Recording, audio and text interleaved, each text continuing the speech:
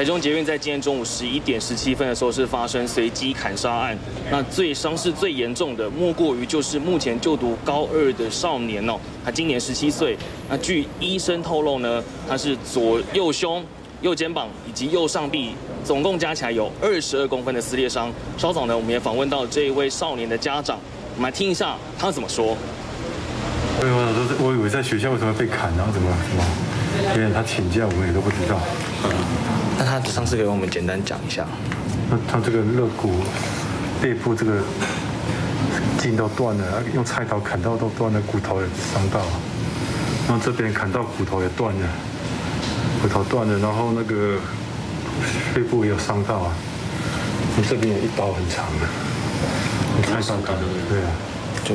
好的，我们来统整一下这位少年的爸爸他是如何讲的哦。包括说一开始事发当下呢，这名少年是打电话跟爸爸说他被砍了。那当下呢，其实爸爸是非常的惊讶，没想到说孩子不是应该在学校吗？怎么会遭人砍伤？原来呢，这个孩子他是今天请假，在上课中呢就已经先出去了。搭捷运的时候呢，遇到这个随机砍人的凶嫌。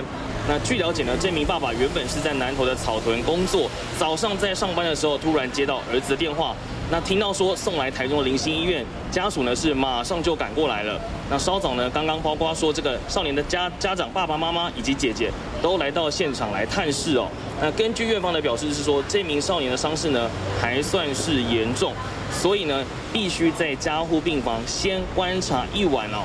但是这爸爸呢也带来好消息，说这个少年他目前是有意识的，不过因为插管的关系，现在还没有办法言语对答。但是这个人是有意识的。那另外我们在跟爸爸访问的同时呢，这一名嫌犯二十岁的凶嫌呢，也刚从恢复室推出来。那根据警方表示呢，他目前还要在医院住院治疗，还不会马上送到警察局。以上是我们在医院掌握的最新状况。想看最完整的新闻内容，记得下载 TVBS 新闻网 APP。